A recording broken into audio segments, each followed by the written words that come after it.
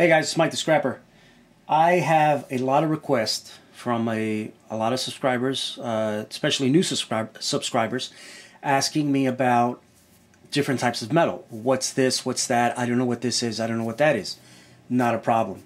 I made this video specifically for my new uh, my new subscribers and new scrappers. Okay, this is called Mike the Scrapper, Scrapping for Beginners. All right, today we're going to learn about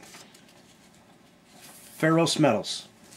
Okay, I'll put this up here so you can see it better. Okay, ferrous metals is of or containing iron.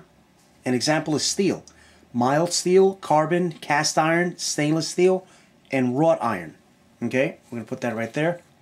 All right, now, an example, get yourself a magnet. Put the magnet down. I'm going to show you something here. This is from another video I had. This is uh, from a water heater. Sticks. Okay, that sticks there. Sticks. Put it over here. It'll stick. Okay, so now, being that steel is magnetic and cast iron, stainless steel, wrought iron, it's all magnetic, this goes into a ferrous pile. Okay, now this is a heatsink from a hard drive, from a uh, computer. Doesn't stick. There's nothing magnetic to this because it's aluminum. Aluminum is not ferrous. Aluminum is non-ferrous. Okay, examples of non-ferrous is aluminum, copper, lead, silver, platinum, and many more. Guys, there's like 50 of these. All right, so we're going to put this one over here. So now, aluminum doesn't go in this pile. Aluminum would go in this pile. So now next time you go to the scrapyard, you'll know which areas it is. Okay? Another example is this little ball here. What is this, guys? Copper, exactly. Now, copper is non-magnetic because there's no steel. There's no iron. Actually, it's iron. There's no iron in here. Okay, so this goes in the non-ferrous pile. Here's a piece of metal. Can you guys tell me what you think this is? Well, let's put a magnet to it. Well, it sticks. That means it contains iron. Okay, so that goes in this pile. Give you another example. This kind of looks the same. Actually, all three of them look the same. But you can tell by the, uh, it's not so shiny. A lot of them aren't as shiny as the other. So what we're going to do is we'll put a magnet to it. It doesn't stick. So that means there's no steel in it. But it doesn't really look like aluminum. Although this is aluminum, this is called cast aluminum. Okay? This, with this, will get you some money, but this will give you a few pennies less than solid aluminum. Okay? So when you're scrapping your aluminum, separate these, and if not, they'll give you what this cost instead of what that. All right? So now, let's look at something else. Let's look at this here. See this here? I shaved it down. I filed it down a little bit. So you can see that that's copper. All right? This here, I shaved this down a little bit. Looks like a little gold. That's brass. All right? Brass is made up of uh, zinc and copper together. And then there's other types. There's like a little bit of lead. There might be some silicone or something in there. Now, brass is brass. Put everything together. There's different types of brass. Red brass, white brass, yellow brass. Um, uh, it's it, it goes on and on and on. Okay? But put all your brass together. This here, cut these pieces off with a hacksaw. Cut that off with a hacksaw. If you have a, a maybe a, a heater, like a torch, pop them off okay? And if you can shine them up, like I did here with maybe a grinder or something, you can actually get number one for this. Okay, this here is number two copper because you can see how it's uh, doesn't rust, it oxidizes. You can see how it's oxidizing there. And this separate and this piece here, that's steel.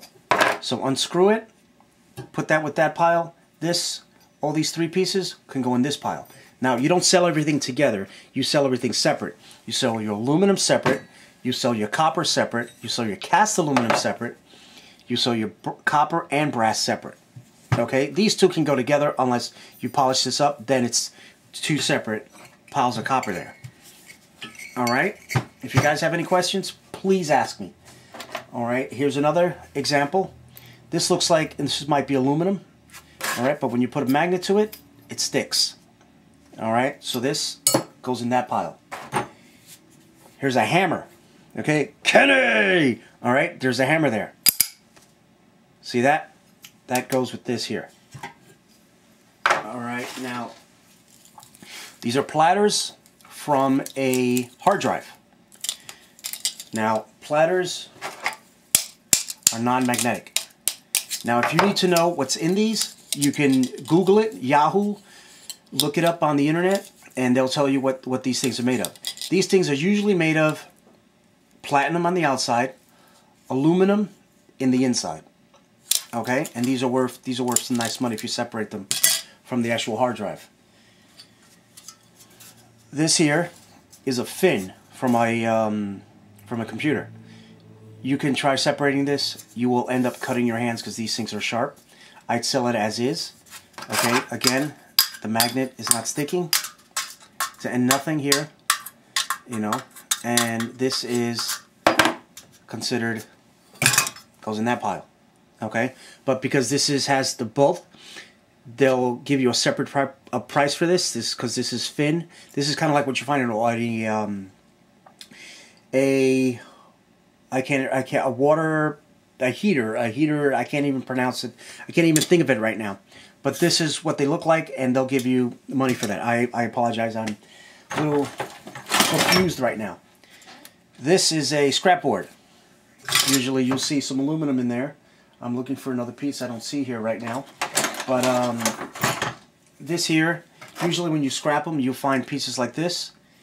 This is, if you put a magnet to it, the magnet's going to stick. So that means this is steel. Look for these when you're pulling them apart. Usually you'll find some of them that are not as shiny, that they'll kind of look like this. Put a magnet to it. If these don't stick, then you rip them apart. The ones that's, that do stick to the magnet, leave them alone. Okay, I can't believe I can't find the other piece, which I just had here a few minutes ago before I was setting up this video. But um, pretty much, that's ferrous and non-ferrous, guys. Okay, if you have a question, just let me know, and I'll and you know I'll try to get it to you as fast as I can. This is a piece of metal that I got from a water heater. See that? Goes in that pile. Can you guys tell me what this is? This piece right here. Does that look familiar? Kind of goldy looking? Right, brass. Doesn't stick. Okay, that's brass there. Okay, sticks there because that's steel. This goes in your ferrous, this goes in your non-ferrous. Alright guys, let me know what you guys think. Send me a, a request, uh, comments, things like that. I hope my new guys, my new subscribers are learning Till then, guys, peace.